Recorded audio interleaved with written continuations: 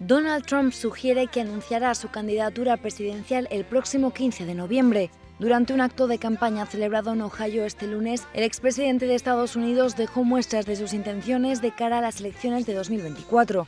Aunque se había especulado durante todo el día con la posibilidad de que adelantara su candidatura, Trump pospuso al 15 de noviembre un gran anuncio que dará desde su residencia de Mar-a-Lago en Florida. El mitin de este lunes de Trump fue convocado para mostrar su apoyo a los candidatos locales de Ohio para los comicios legislativos que se celebrarán este martes en Estados Unidos. En estos se elegirá a la totalidad de los miembros de la Cámara de Representantes y a un tercio de los senadores, ambos en manos demócratas en la actualidad. Trump dejó buena parte de su discurso en las encuestas que lo sitúan en una posición favorable en varios estados, tanto para las primarias republicanas como para candidato a las elecciones generales.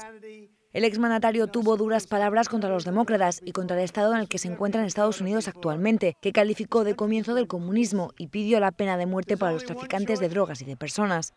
Sobre la cuestión migratoria, Trump aseguró que Estados Unidos merece un presidente y un Congreso que proteja las fronteras nacionales y se quejó de que los estados centroamericanos no aceptan de regreso a los inmigrantes que han cometido delitos en Estados Unidos.